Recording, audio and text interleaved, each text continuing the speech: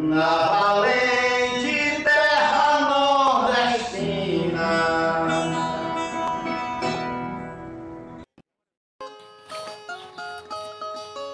Arlindo Rocha, na condição de delegado da cidade de Salgueiro, Pernambuco, tinha sob sua guarda o indivíduo conhecido por Antônio Padre, suspeito de ter cometido um crime na região. Inocentado, Antônio Padre roga um emprego ao delegado, que o leva para trabalhar em uma de suas fazendas de nome Barrocas, onde reside com sua família. Nessa relação próxima à família, nasce em Antônio Padre uma forte paixão por uma das filhas do patrão, que chega a propor que a jovem fuja com ele.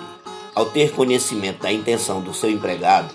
Arlindo o expulsa imediatamente de sua propriedade. Injuriado pela humilhação a que foi submetido, Antônio Padre declara guerra ao seu ex-patrão e vai em busca de proteção junto ao coiteiro Francisco Pereira de Lucena, o temível e poderoso Chico Chicote, proprietário da fazenda Guaribas,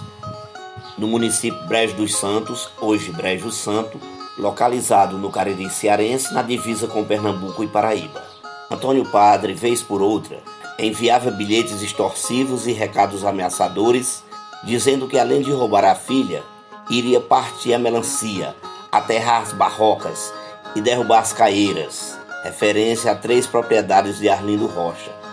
Diante dessas ameaças, Arlindo Rocha manda um grupo armado com pessoas de sua extrema confiança, constituído por parentes e agregados, pois sabia da alta periculosidade de seu antigo empregado, agora um afamado bandoleiro do bando do famigerado Lampião. Em meados de 1924, Arlindo articula uma bem-sucedida emboscada contra o subgrupo de Antônio Padre, ocorrendo uma forte troca de tiros no episódio que ficou conhecido como Fogo de Pilões, que resultou nas mortes de Antônio Padre e Gavião. Em 26 de novembro de 1926,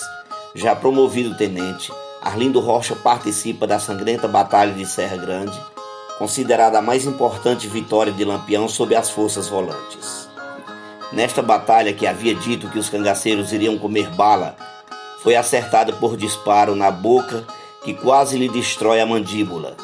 que lhe trouxe problemas de mastigação e cicatriz pelo resto da vida, sendo então chamado pelos cangaceiros pelo apelido pejorativo de queixo de prata. Em fevereiro de 1927, Arlindo comanda uma das volantes no histórico cerco à fazenda de Chico Chicote, evento que ficou conhecido como Fogo de Guaribas, no qual é morto o temível fazendeiro e coiteiro cearense. Em 13 de março de 1928,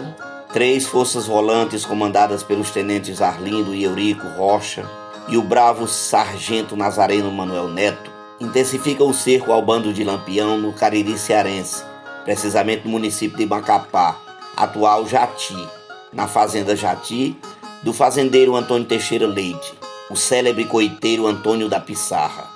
Já era tarde da noite, sob forte chuva, o céu entrecortado por raios e trovões, que um dos soldados da volante de Arlindo Rocha deflagrou um tiro certeiro no vulto de uma pessoa que atravessava o passadiço, pondo fim à vida do célebre Sabino Gomes, o mais importante cangaceiro do bando de Lampião, que em entrevista em Juazeiro do Norte, no Ceará, já o havia apontado como seu potencial sucessor.